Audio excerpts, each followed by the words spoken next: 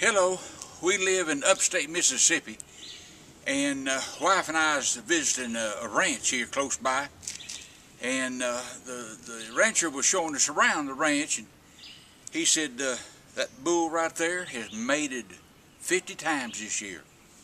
He was proud of that, and and, uh, and so we went on, and he said uh, that bull right there now, he's mated a hundred times this year. My wife, she jabbed me, you know. And uh, so we went on to the next pasture, and uh, the farmer said, "Now I want you to look at this bull right here. He's my prime bull." Said, "said he has mated 365 times this year." And he was really trying to impress us, you know. And my wife jabbed me, you know, real good that time, and and uh, I asked him, I said, to the same cow?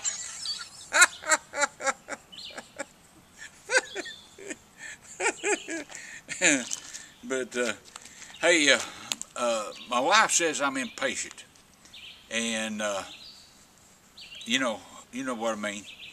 And uh, I was in our town here. We have a corner. We call it Bullfrog Corner. That's the name of it.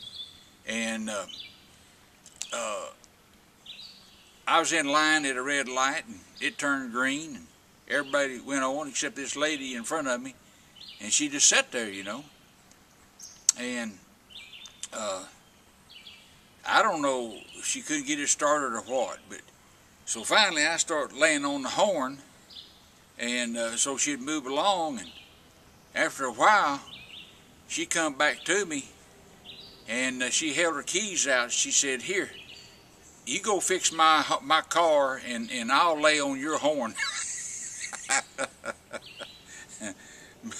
but anyway, uh, you know, have you ever had something that it just you wondered about? It got on your mind, and you wondered about it. Uh, uh, I've, I've lately I've been wondering. People in hell, where do they tell people to go?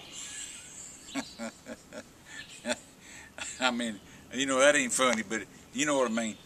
But uh, uh, uh, I was at the local shopping center and waiting on the wife, and I noticed there was a, a, a, a handicap parking there at the liquor store. And uh, just just think about that. All right, y'all have a good day, and and uh, down below, go down there and, and click on that thumbs up, if you will, and I'll get a blue ribbon.